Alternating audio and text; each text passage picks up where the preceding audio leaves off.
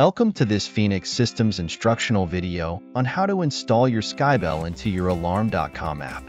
First, you will need the name and password of your home Wi-Fi. Second, the Alarm.com app has to be installed on your phone.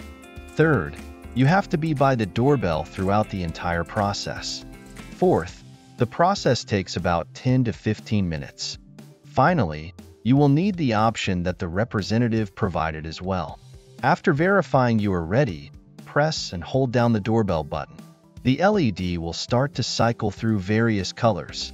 After a minute, it will go to flashing green, then alternating red and green, then flashing blue.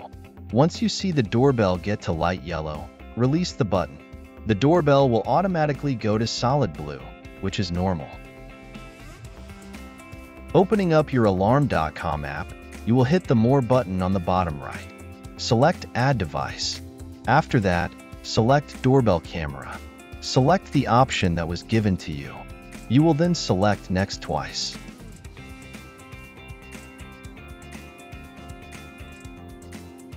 Give the doorbell a name and then hit Next. Going to the settings on your phone, you will go to the Wi-Fi section. There will be a list of available Wi-Fis to connect to. One will say Skybell. Select the network named Skybell and wait until there is a Wi-Fi icon on your phone indicating you are now fully connected. Going back into the app, select Scan for Networks. A list of Wi-Fis will be available. Select your home Wi-Fi name and enter the password.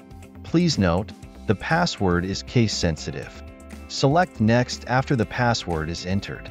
Shortly after, it will start the installation process, going from 10, 20, and to 80%.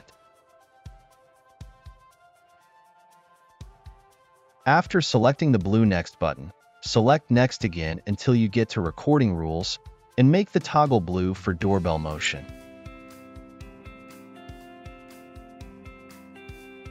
Congratulations, you have installed your doorbell into your app. If you have any issues, please contact us at 678 566 2640. Thank you for watching this Phoenix Systems instructional video.